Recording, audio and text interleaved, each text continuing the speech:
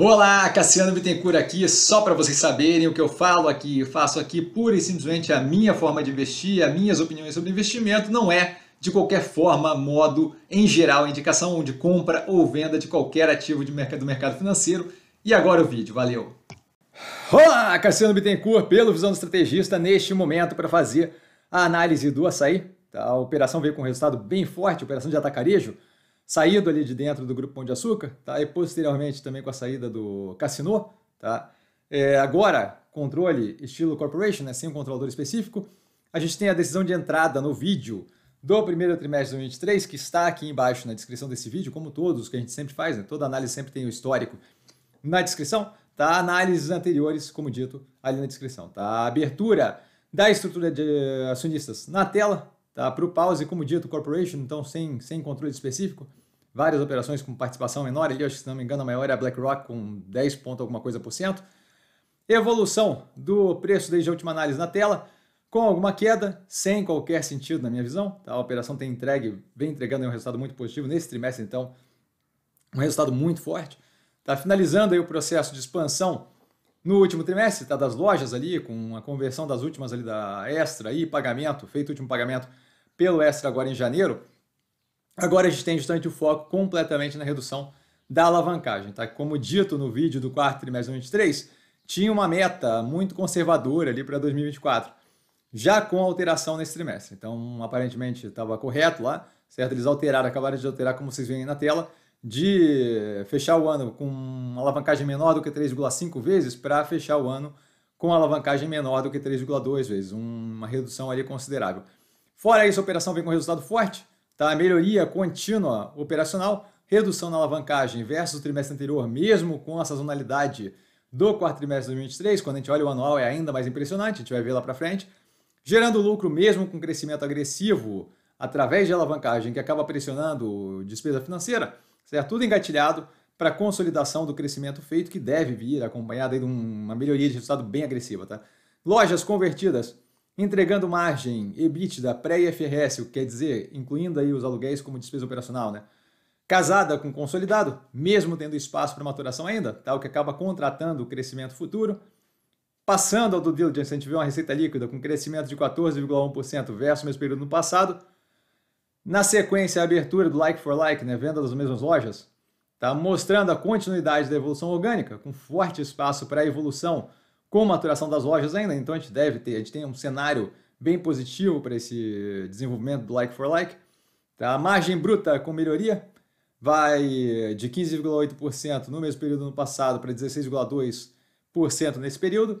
Continuidade aí do forte controle de custos, que é algo que a gente tinha comentado na análise passada e que é algo bem interessante, bem positivo.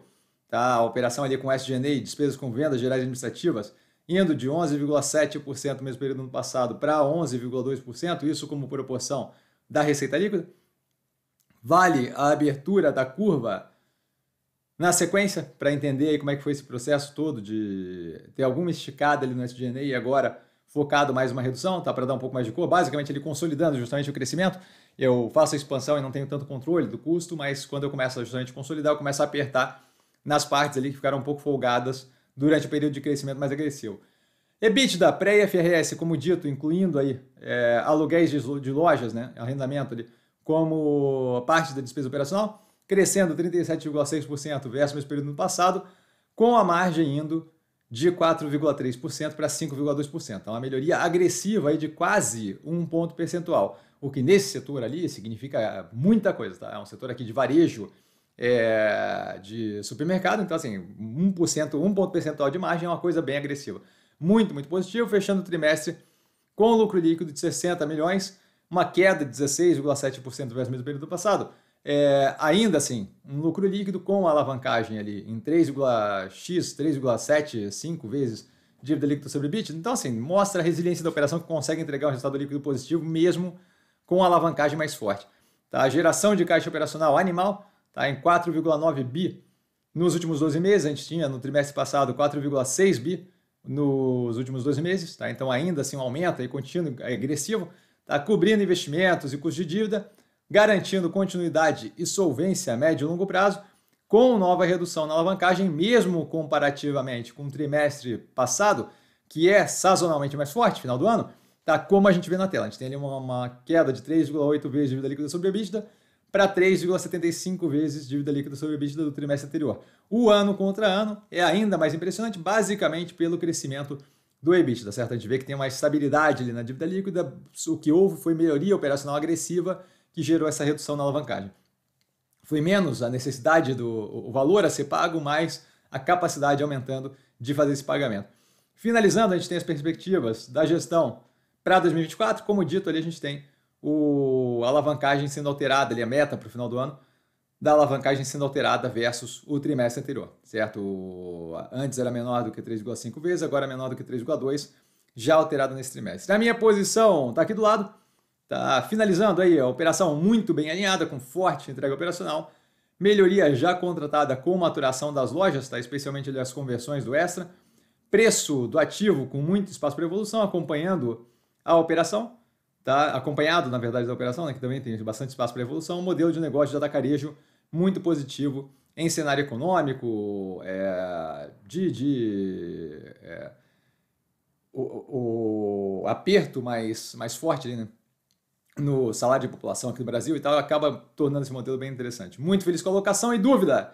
Dúvida eu sempre no Instagram, arroba investir com sim. Só ir lá falar comigo, não trago a pessoa amada, mas estou sempre tirando dúvida e vale lembrar que quem aprende a pensar bolsa opera como um mero detalhe. Um grande beijo a todo mundo e nos vemos aí nas próximas análises. Valeu, galera. Beijão!